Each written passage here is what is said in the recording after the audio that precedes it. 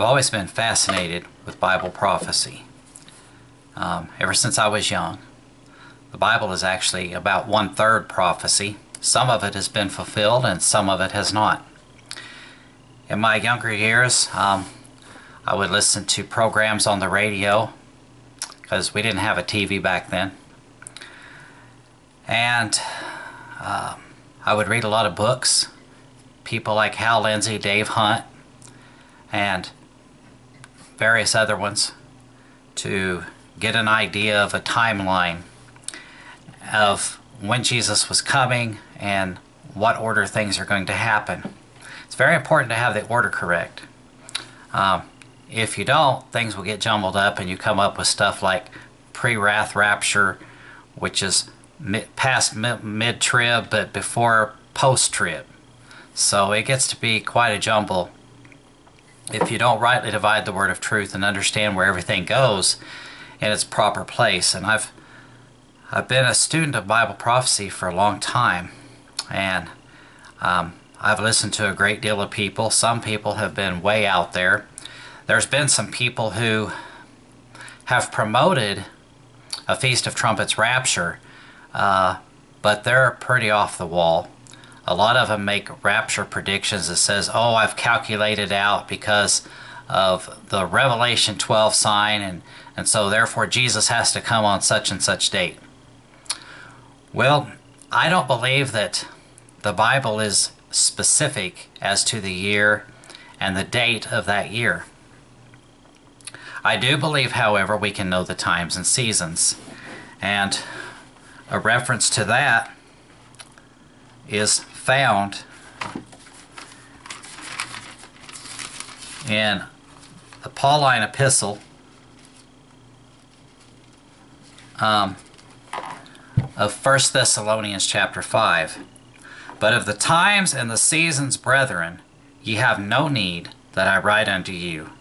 For yourselves know perfectly that the day of the Lord so cometh as a thief in the night. For when they shall say peace and safety, then sudden destruction cometh upon them as travail upon a woman with child, and they shall not escape. They shall not escape. But Jesus tells us um, pray that you be counted worthy to escape. And such a thing is also written um, in Revelation. Um, to the church, where he says, um, Revelation chapter 3 and verse 10, Because thou hast kept the word of my patience, I also will keep thee from the hour of temptation which shall come upon all the world to try them that dwell upon the earth. See the contrast there. It is not for us, it is for them. Right now we're in the time of uh, the Gentiles, and Jerusalem shall be trodden down of the Gentiles until the time of the Gentiles be fulfilled.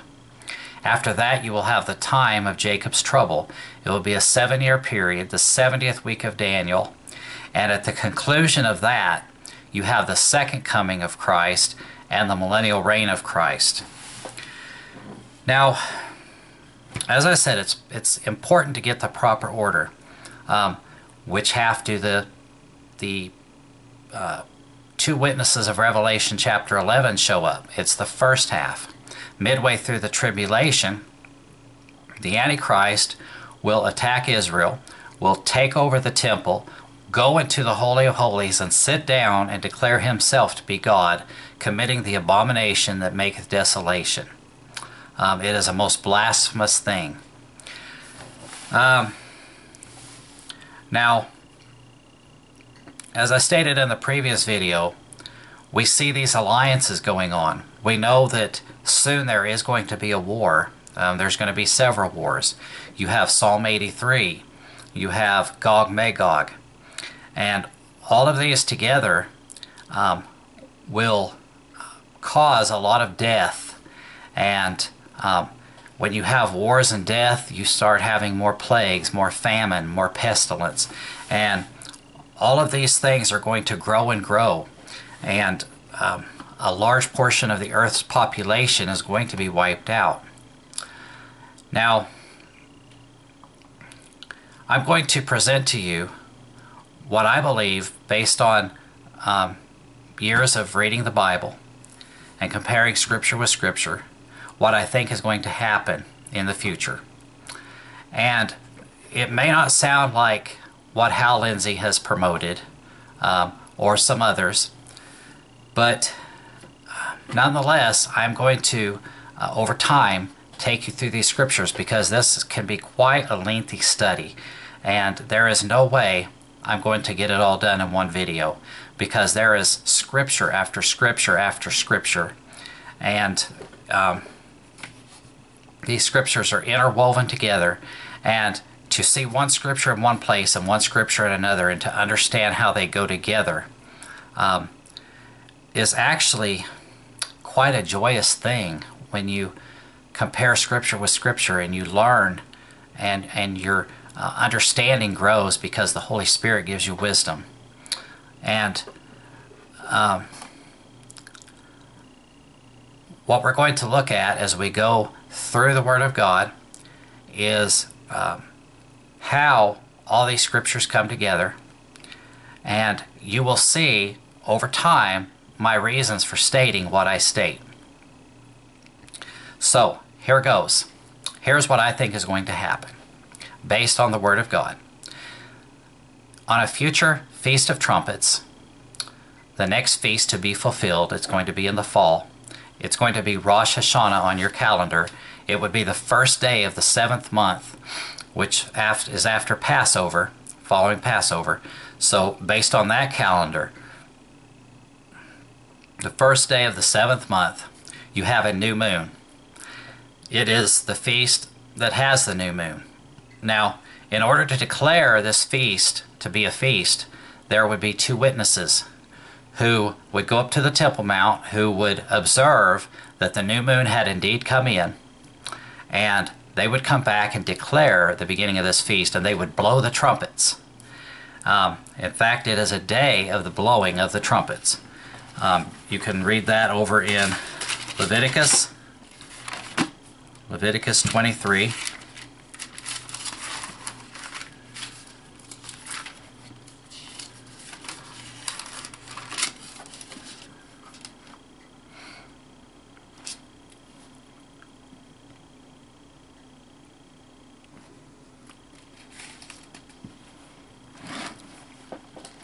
Starting in verse 4. These are the feasts of the Lord, even holy convocations, which ye shall proclaim in their seasons. It's important to understand seasons as a part of, of the Jewish nation. And remember, we've been grafted in. We are spiritual Israel. There is a physical Israel and there is a spiritual Israel.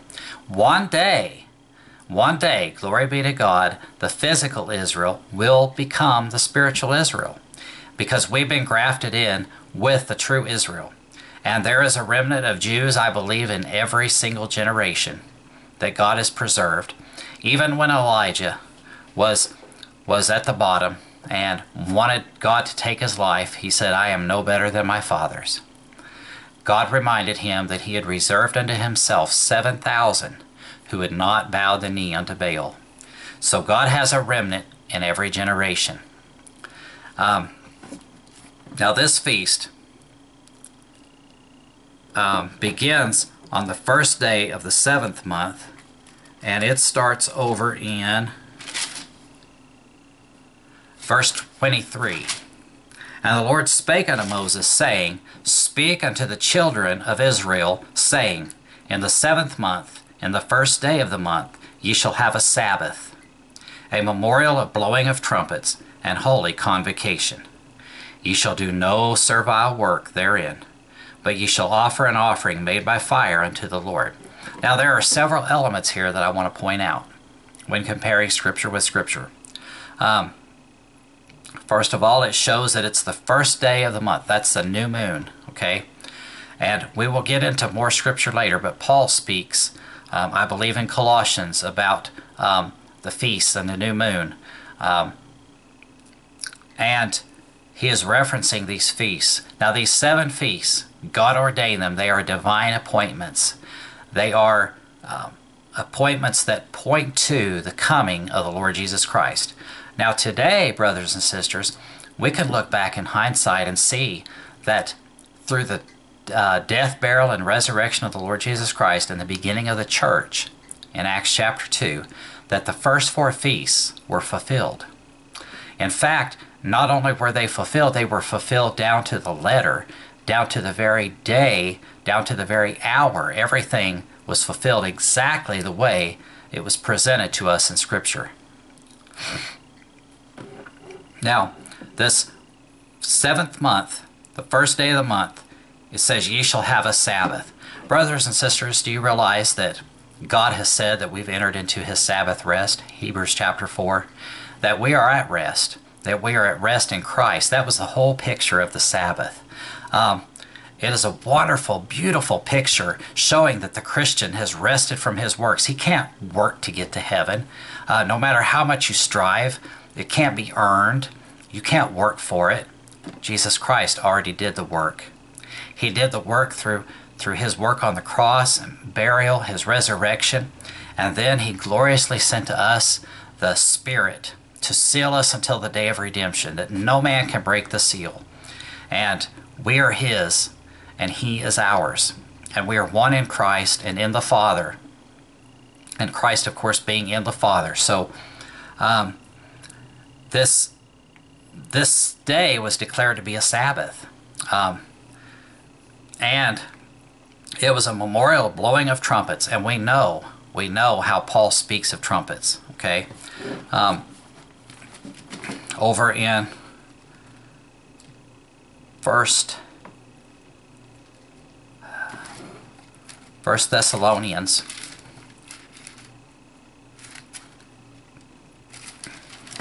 um, it's beginning in verse 13. But I would not have you to be ignorant, brethren, concerning them which are asleep, that you sorrow not, even as others which have no hope. For if we believe that Jesus Christ died and rose again, even so them also which sleep in Jesus will God bring with him. For this we say unto you by the word of the Lord, that we which are alive and remain unto the coming of the Lord shall not prevent them which are asleep. For the Lord himself shall descend from heaven with a shout, with the voice of the archangel, and with the trump of God. There you have the trumpet. All of these things are important in Scripture. Every single word has meaning, it has weight. Um, it's not just there for any non particular reason. Every word that Jesus spoke was full of truth and life and meaning. He never spoke an idle word. Everything he says carries weight, has deep eternal meaning and value. So it is important to compare Scripture with Scripture and believe what it says. Then we which are alive and remain shall be caught up together with them in the clouds to meet the Lord in the air, and so shall we ever be with the Lord. So the Lord Jesus Christ, the day of this rapture, um, this gathering together unto himself, he is going to um, bring the, the body of Christ, those that have died before us, with him. And they're going to be resurrected in glorified bodies just right before us and we will meet all of them in the air. It's going to be a glorious reunion. Um, we too will have glorified eternal bodies that will never get old, um, never have disease, uh, no health issues ever. So I, I think about that day, and it's just so wondrous to me. It's it's beyond what I can even imagine. I can't even think. Um, how great and glorious heaven would be except to know that Jesus is there and people that I love is there and that it just goes on forever and ever. Um, it never gets old or tiring or boring. Um, there's there's just eternal fellowship with the saints and then there's God's holy angels and there's God himself revealed to us in three persons the Father, the Son, the Holy Spirit. And all those who rejected Christ at the rapture, they'll be left behind. All those who are saved will be taken up. There is no such thing as a partial rapture. All the saints will be taken. Um, But we see these different elements in Leviticus chapter 23.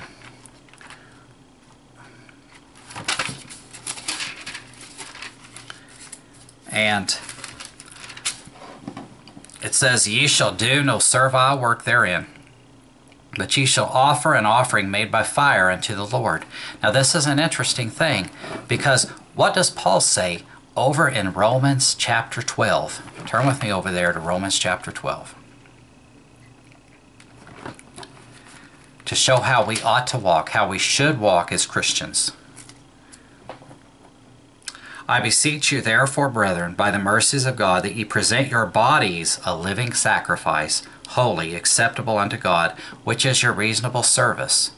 And be not conformed to this world, but be ye transformed by the renewing of your mind, that ye may prove what is that good and acceptable and perfect will of God. So, we ourselves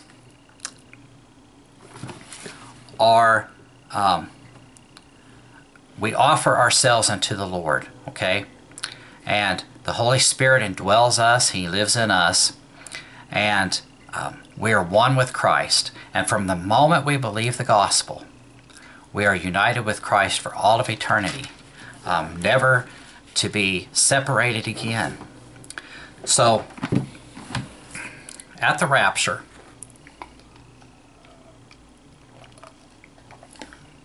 on that day, a future Feast of Trumpets. Um, the feast is two days long. What happens is the the two witnesses will go up to the Temple Mount, declare that they've seen the new moon, and come down and tell everyone, and the trumpets will begin blowing. Now it's important to understand that a day in, in the life of a Jew does not begin when the sun rises. It begins when the sun goes down. And so that's the beginning of the day. Um, the end of the day is when the sun goes down, not at midnight. See, their line of thinking is different than ours in Western culture as Gentiles. Uh, to us, our day is over when the sun goes down, or on the clock it would be at midnight, but not so for them. Um, their day begins in the evening. It's a new day when the sun goes down, and it follows to the next day um, when the sun goes down. So, when this Feast of Trumpets happens, and by the way, um, I don't know which year it's going to be, and even if one were to know what year it's going to be, you wouldn't know which day it's going to be because the feast is two days long. So, after the blowing of the trumpets, okay, the, the, two witnesses declare that the feast day begins because they have to see the new moon. If they're unable to see the new moon on that day, it's automatically celebrated the next day. Now, the interesting thing is with this two day feast, it would incorporate every Christian believer in the whole world. So, the church began on Pentecost. Um, and it became composed of both Jews and Gentiles. And likewise, the rapture of the church will include some Jews, um, contrary to what the Andersonites teach. Now, when that happens, as we are being raptured, Moses and Elijah are going to be coming down to begin their work. Um, I believe this is what's going to happen. As we get raptured, we go to heaven. Moses and Elijah will come down, and Moses will do that which he did in the Old Testament. He will find priests and sanctify them and take them up to the Temple Mount. Now, folks, if you've watched the news at all, you know that the Temple Mount is a very volatile place. Uh, there have been instances of, of clashes going on um, and all kinds of problems. Uh, the Jews want to be able to pray up there. They want to be able to worship. They've been told no. It's under the control of the Jordanians. And um, it is still the time of the Gentiles. But when the time of the Gentiles be fulfilled, that's going to be done. And what I believe is going to happen is there will be a temple up there. And I believe the Dome of the Rock is going to be destroyed. as well as the um, Al-Aqsa Mosque, which is over in off to the side. So those areas are going to be destroyed. There's going to be a temple up there. When CNN and all these news people show Moses and Elijah going up to the Temple Mount with a bunch of priests to blow the trumpet to declare this uh, Feast of Trumpets, then there's going to be a war. And that's what's going to get started. You're going to have your first wave of people, which is Psalm 83. The, the Arabs are going to be enraged uh, like, like they've never been enraged. It's going to just throw them into a tizzy because they're going to see this happening. Um, it's quite possible that Elijah, who has been known in the past to call down fire out of heaven, to call down fire to destroy these buildings, to clear everything off. Um, just like in the days against Baal and the Baal worship, um, how Elijah himself opposed 450 prophets of Baal, um, including Jezebel, who was their leader, who was the, the king's wife. So, you also need to understand that this is going to be a different dispensation, okay? Um, it will be the time for that. It is time for God to turn his attention back to Israel to deal with the children of Israel so that they are prepared for the coming of their Messiah. He already came once, they rejected him. Jesus Christ, Son of the living God, he stood before Pontius Pilate. Um, and Pontius Pilate asked the people, What shall I do with your king? He was presented. And what did they say? Away with him! We have no king but Caesar. Well, God's going to deal with the children of Israel. And God is very serious. He says the very last words of the Old Testament. Turn with me, if you will, to Malachi chapter 4. Malachi chapter 4. Verse 5 Behold, I will send you Elijah the prophet before the coming of the great and dreadful day of the Lord. And he shall turn the heart of the fathers to the children, and the heart of the children to their fathers, lest I come and smite the earth with a curse. There's going to be some great things. There's going to be signs and wonders. Um, the Bible speaks in Revelation chapter 11, which I need to get into another time. But we see great things happening because of Moses and Elijah. And um, you might ask, why Moses and Elijah? Well, we see them on the Mount of Transfiguration. Moses represents the law, Elijah the prophets. We know that God promised to send Elijah back, and there are special circumstances concerning Moses. So, while this does need to go into in more depth, um, suffice to say at this point, um, Moses and Elijah are going to be witnesses to the children of Israel because the law and the prophets are a witness unto them. Um, in fact, Abraham spoke quite clearly in Luke. Um, Luke chapter 16, the uh, story between the rich man uh, and Lazarus. And uh, the rich man goes to hell and Lazarus to the bosom of Abraham. And verse 27 Then he said, I pray thee therefore, Father, that thou wouldest send him to my father's house, for I have five brethren, that he may testify unto them, lest they also come into this place of torment. Abraham saith unto him, They have Moses and the prophets. Let them hear them. And he said, Nay, Father Abraham, but if one went unto them from the dead, they will repent. And he said unto him, If they hear not Moses and the prophets, that's the two witnesses unto them. And we know that Elijah is going to be the prophet that comes. Neither will they be persuaded, though one rose from the dead. And how true that is. Jesus Christ, the Son of the living God, the eternal Son of God, rose from the dead, and most of the Jews rejected him. They did not believe him. Um, so, we see that um, Moses and Elijah will come. The Temple Mount is going to be cleared and it's going to be done uh, where the world sees it. And it is going to cause a war, a huge war. And it's not going to be a war um, that the Arabs win. The first wave is going to be the Psalm 83 group. Those are the nations that form a ring directly around Israel. They will attack first. And while they're busy attacking, a second wave is going to be forming and getting ready to attack. That is Gog Magog. They are the second ring of nations around um, Israel.